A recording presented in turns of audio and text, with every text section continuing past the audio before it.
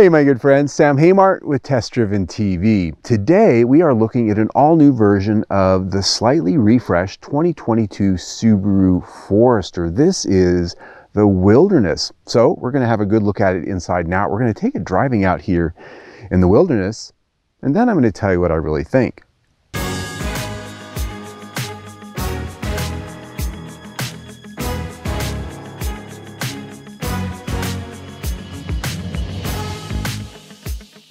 For 2022, Subaru gave the Forester a bit of a refresh, and that includes a few new facial features, new headlights, new grills, new bumpers front and rear, and new wheel designs, and of course a couple of new colors for this year. But what we're really talking about here is this new trim grade, the Subaru Wilderness, a more off-roady, adventure-oriented trim grade. And so you get a lot of styling and you get a lot of capability adds as tested, we're at $36,000 and some change.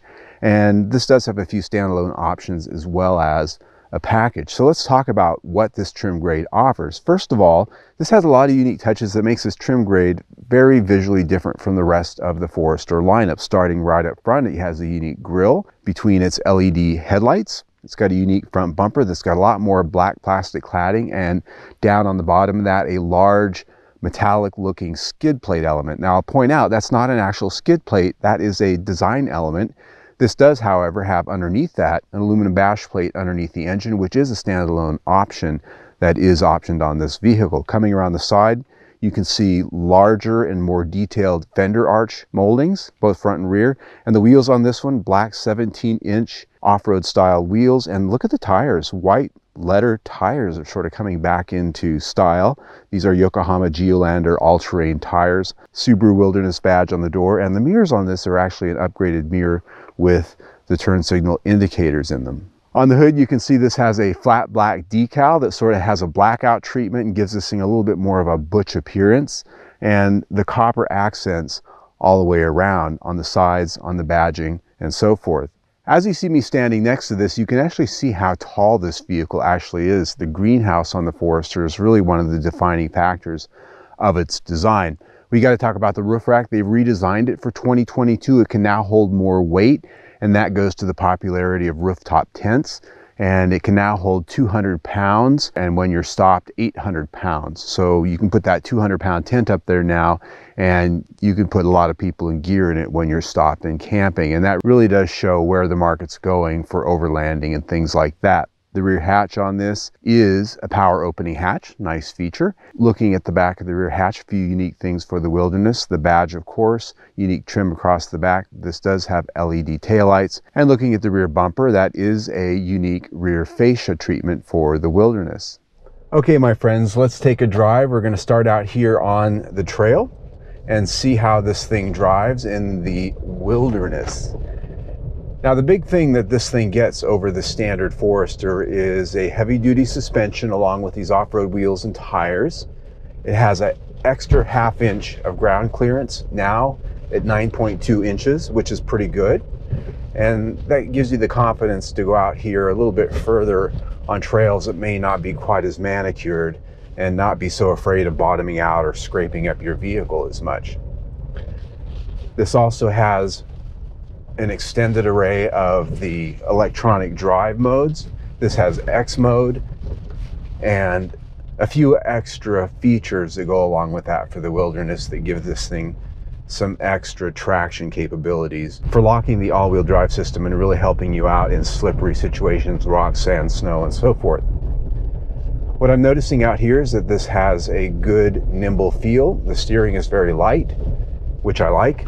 The ride is a bit stiff for something that's considered to be off-road. It does sort of beat you around just a little bit. I am getting just a little bit of noise and creaking in the structure as it goes over bumps and rocks. The suspension itself is very solid. I'm not feeling anything less than uh, a tight suspension and steering here, but when it comes to the actual feeling of this structure, it does it does feel like it's not quite as tight as the rest of the vehicle. Now, if you're wondering where we're at here, this is a beautiful place, and that really sort of gets to the point of being in a vehicle like this in the first place is uh, being able to get out here on the open road and really enjoy a place that you don't get to see if you live in town. And where we're at actually here is the uh, Peralta Trail area of the Tonto National Forest. It's absolutely gorgeous out here. It's nice to be out here today. Now we're on the Desert Washboard Road, which is actually a place I love to test vehicles like this because even though it's not an off-road trail per se, this washboard surface really tests how well put together this vehicle is. Does it rattle and shake and squeak? And yes, this does. As do most Subarus that I bring out here. The suspension, I'm not feeling it in the steering or the suspension. That's pretty solid as I said out there on the trail. But when you drive it over this ribbed surface, I get vibration in the dash. I get vibration in all the trims in here. The doors, I can see them vibrating. It just feels a little bit on the junky side, if I'm honest. So it doesn't feel quite as buttoned down. Going around these curves and corners on this gravel surface, I will say that the stability control has a nice tune to it. You can throw it into a corner and you can actually feel this thing arrest the slide. It does a pretty good job in that way. It'll, for the most part, keep you out of trouble. On the pavement, this actually has a decent ride, and one of the benefits of having this off-road suspension is that it tends to do a little bit better over speed bumps, potholes, railroad tracks, things that you will find in the city than the standard Forester models because it's a little bit more of a heavy duty suspension.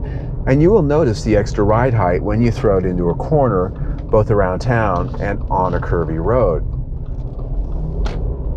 One of the nice things is though, is that this does have a pretty quiet ride. The 70 mile an hour cruise test that I do with a decibel meter this measures out at 59.9 decibels, which is about middle of the road for most vehicles. And that's actually something that surprised me given the fact that this interior doesn't have a lot of cloth that typically absorbs sound. This has a lot of vinyl and plastic, uh, and yet uh, the sound level is still pretty reasonable. And so this chassis overall gets four out of five stars. Now let's talk about powertrain for a moment. And the question I always like to ask is how does it go?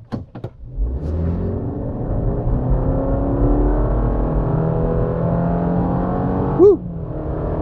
Uh, and 60. Kind of drones on there a little bit. So, what this is is a 2.5 liter horizontally opposed boxer engine, Subaru Tradition. Has 182 horsepower, 176 pound feet of torque, and as you probably noticed, it comes with a continuously variable transmission, a CVT. And this does have some step shifting that it can do to give you simulated shifts. Uh, it says on the specs it's an eight speed simulated transmission, although it's really hard to quantify that because it's really random the way it gives you these fake shift feeling kind of things that it does. It does have paddle shifters here so that you can play with it and, you know, kind of give yourself the impression that you've got a more traditional transmission, even though it isn't. It does have an auto start stop system, not my favorite thing. And this one is very slow to react. This one is very aggressive. It shuts this engine off a lot more than most cars. And when it does start up, this engine just really shudders to a start, it shudders to a stop. It really lacks refinement in its system. So, um, not winning any points there. When it comes to fuel efficiency, this is rated at 25 city, 28 highway, and 26 MPG combined. It is a little bit less than the rest of the Forester line when you step up to the wilderness. Uh, you do lose some MPG with the off-road tires, wheels, and the extra ride height. Something to keep in mind. The power level I find to be adequate. One thing of note is that this can tow 3,000 pounds, which is up from last year. A nice improvement there.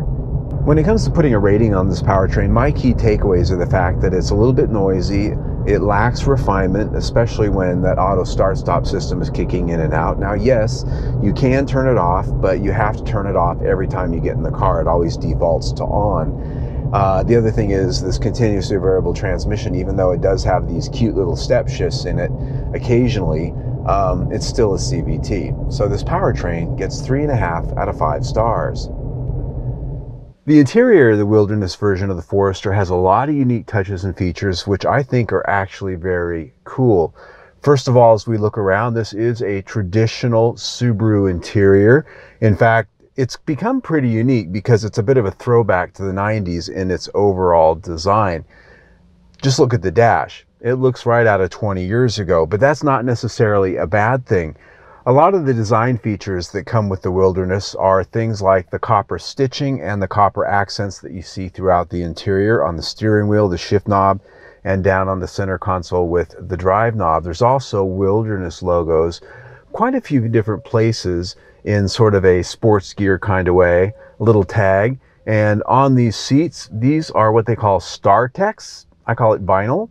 And it's actually a very nice material for vinyl. It's got a nice very soft, sort of uh, almost sort of a wetsuit kind of feel. I like it, and it doesn't have that stickiness that vinyl tends to have on the headrest Subaru Wilderness logos. Looking down at the floor, this has a really nice set of all-weather tray style floor liners, front and rear, with the Subaru Wilderness logo. And as you can see, they look a little bit lived in because we were just out in the wilderness with the vehicle. There's some realism for you. I do find these seats very comfortable. They are power operated for the driver, manually for the passenger. I have been comfortable all week long in these seats, and they do have heaters down on the center console. There's some buttons down there, and they're the old style rocker switches that stay on when you turn them on. If you get back in the car later, you don't have to return your seats on again, but you do have to remember to turn them off. The steering wheel does have these beautiful copper accents and plenty of controls, both for the audio and infotainment system the instrument cluster as well as the paddle shifters for the continuously variable transmission. The instrument cluster, pretty traditional setup, two dials with a very small digital screen in the center that you can customize to some degree. Looking at the center stack, 8 inch center screen, and a bit of a retro throwback, another screen up at the top of the dash, way up there. Certainly not a touch screen, but it has readouts for your fuel economy and a clock. Uh, it, it's just 90s not a bad thing, but there it is. The center console is pretty straightforward in its design. HVAC controls in the center. There's a cubby down at the bottom that has all the ports you need for auxiliary, USB, as well as the 12 volt port. For my phone though, I do find it kind of awkward and small. It's not really a great place to put your phone and in that way, there's not very many other convenient places to put your phone in here without just laying it on a seat or something like that. In the center is a traditional gear shift lever. I love that. Behind it, the drive mode selector and a number of other switches, including the power parking brake. Cup holders behind that. And they're down low so that you can put some tall gas station cups in there without really being in your way. Center console storage, exactly about a square tissue box size and maybe just a little extra room and there's another 12 volt port in there as well. Looking up, this has a few things that set it apart. This has a large moonroof in it. That is a sunroof, a one piece that flips open as well as slides. And while it's not a full panoramic roof, it does reach into the back just a little bit. There's an upper console with switches for that as well as the SOS and emergency switches. And you'll note this also has a black headliner, which is unique to the Wilderness interior. Rear seat passengers are going to have plenty of space to move around and get comfortable as you can see. These seats are set for my height, about 5'9 with my boots on, and I've got lots of legroom out ahead of me. And the headroom back here, even with this moonroof, is pretty good. I do like the fact that that adds a lot of light back here and makes it feel a little bit more airy given the fact that we have a dark colored interior. This seat, um, about a medium height. It's not low, it's not high. Uh, but it does feel just about right. And these seats have, while they are pretty firm, sort of a nice cushiness with this material. When it comes to amenities, there are vents back here for your rear seat passengers and two 2.1 USB charging ports. Mat pockets on the back of the seats. There's actually sort of a double layer mat pocket scenario here, which is pretty slick. This does seat three across. And as you'd expect, the seat does fold down in a 60-40 split for a flat load floor. In the back, there's some really nice buttons that allow you to press one touch and down they go. I always love that in an SUV. Looking at the back, you can see this also has a nice big all-weather mat back there that comes along with the floor mats up front. And when you look underneath that, there's a spare tire. Always a great thing in an SUV, but it's not just a spare tire. That is a full-size spare tire with a full-size alloy wheel that matches the ones outside. That is a major bonus back there. When it comes to rating this interior, the material quality for the most part is pretty good, but as we noticed out on the road, there is a lot of noise and rattling and shaking going on, especially when you start taking this thing out in the wilderness. It just isn't all buttoned to the structure as well as I'd like. But the design, uh, while retro, very appealing to the eye, and I love these accents in here, and the comfort, very good. This interior gets four and a half out of five stars. The audio and human interface in this is something that we've seen in other Subaru vehicles. This is the top of the line in this case with the Harman Kardon audio.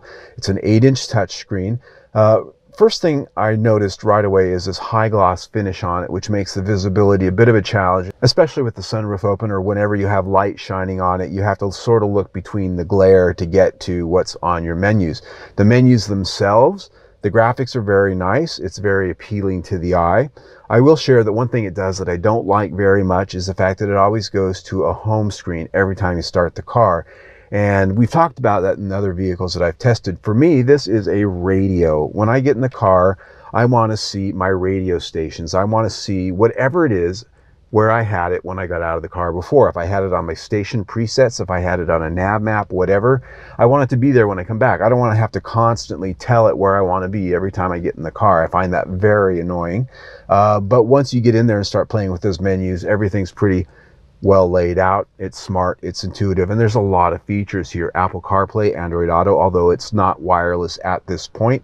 It does, of course, have AM, FM, Sirius XM, and a feature I really didn't expect to find here in today's modern era, a CD player. Yeah, a CD player, so you can sort of go old school here if you want. The cameras on this work very well. It has a front camera 180 degrees, which comes in handy off-road, and the backup camera itself uh, does have a nice turn with your steering wheel feature that helps guide you back.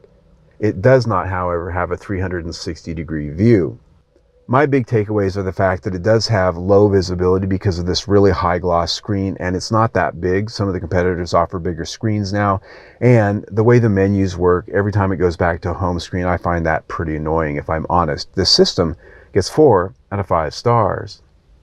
Now's the time when I like to talk about value. How does it stack up? Now, as tested, we're at $36,000 and some change, right in the middle of the Subaru Forester lineup. You can get a lot less expensive models. You can step up and go higher. So they place this new off-road sort of camping um, adventure version right in the middle. And that's pretty common. A lot of the competing crossover SUVs, we're starting to see this new trim grade in um, the outdoorsy version. They're placing that in the middle. So you don't have to spend all the way up to the top to get the goods, the extra capability, the extra gear, that kind of thing. So I like that.